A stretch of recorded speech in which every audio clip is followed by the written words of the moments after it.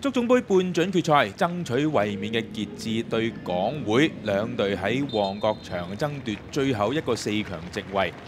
藍衫嘅傑志同白衫軍港會雙方呢都喺首圈輪空嘅，勝出嘅一方呢會喺準決賽鬥東方。至於另一場嘅四強呢，就由李文對深水埗嘅。開波即係早段嘅時間呢，傑志嘅一個角球機會就揾到入球嘅方法噃。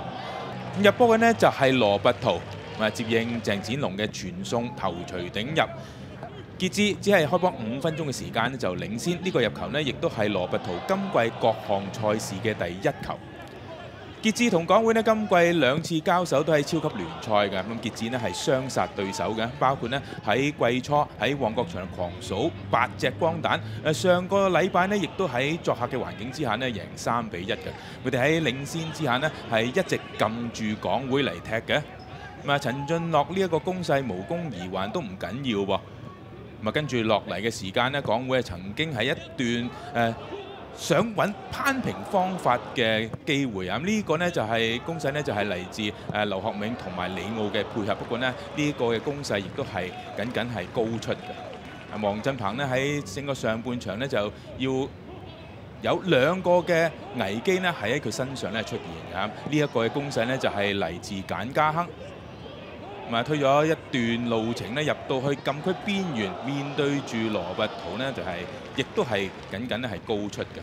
咪喺上半場呢，就憑住羅拔圖嘅一個入球，傑志呢係以一球係領先嘅。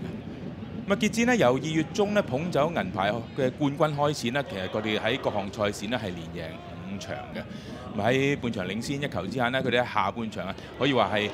不斷係撳住嚟踢嘅希望呢，係盡早將呢個優勢呢係拉開。咁呢個嘅誒國誒罰球機會呢，亦都係俾誒費殘呢係化解咗嘅。跟住落嚟嘅時間呢，明加索夫同埋陳俊樂嘅配合呢，亦都係無功而還喎。咁係呢一腳波呢，亦都係陳俊樂呢喺呢一場比賽第二腳嘅嘅射門啊。咪係一直捱打嘅港會咁，跟住落嚟嘅時間呢，又要接招嘞喎。咪呢個攻勢傳埋嚟。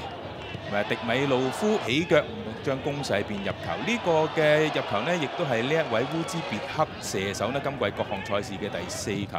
當然係要多得潘佩軒一個妙絕嘅傳送呢，令到呢一個攻勢變入波。